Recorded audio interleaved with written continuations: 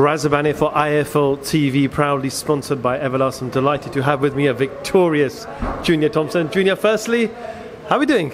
Um, very good now after that.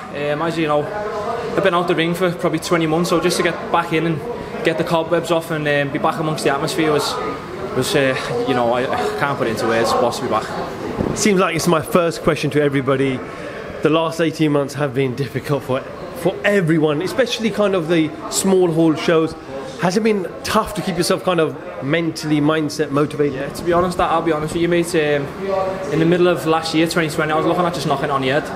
Just because obviously everything was so uncertain, and you know, without the small hall shows, it's hard for, for lads like us to get on shows. So at that time, it, it gets to the point where it's you know you've got to pay rent. So I was thinking about just going back to work and knocking on the head, or, but you know, I stuck to it and persevered, and thankfully we're back. I know over the course of the last 18 months, you probably got told you're going to be out next month and you're waiting and the next month. But obviously, you've probably been watching the news.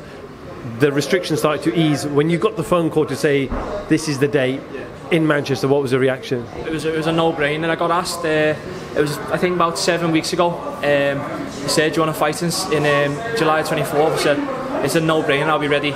I'd have been ready in four weeks to be honest with you. Was, I was that, that keen to get back out.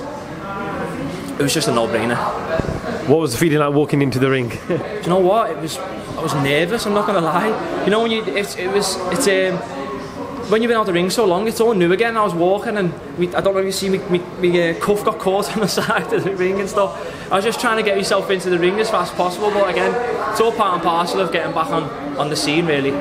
How do you assess your performance? Obviously, you got the rounds in, which is yeah. the most important thing, and they probably benefit you in the long run. Definitely. Well, as you know, that's only my third fight. Um, that's my first six rounder, so doing six rounds after being out for 20 months was difficult. Um, again, it was just all learning and, and being back under the lights again. It was just, you know, priceless, price, priceless um, educational rounds for me getting out there, especially against a game kid as you saw.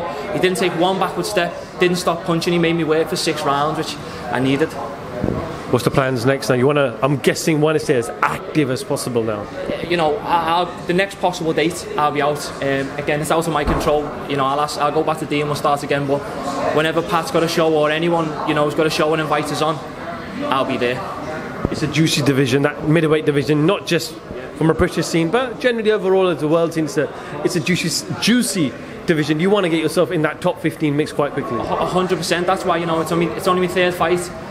Um, I've gone straight into a six rounder after after a big layoff. Um, I don't really want to waste time. You know, I want to see how far I can get fast. I don't. I'm not one for you know taking it easy route. I never have been my whole life. Um, so yeah, it's, it's just one of them things. As, as fast as I can get up there, I know it's a it's a tough division, um, but I'm willing to work hard and, and you know make things happen if I can. Any celebration tonight? Yes. Just gonna have a quiet one and go home. they, they've all been saying the same thing to me today. Yeah, do you know what it is? I, I was saying to my friends, I'm, I'm going to go out and celebrate, but I reckon the coach home, I'll be snoring all the way home now. well, congratulations again, Junior, and hopefully we'll catch up with you very soon. Junior Thompson, IFL TV, thank you very much.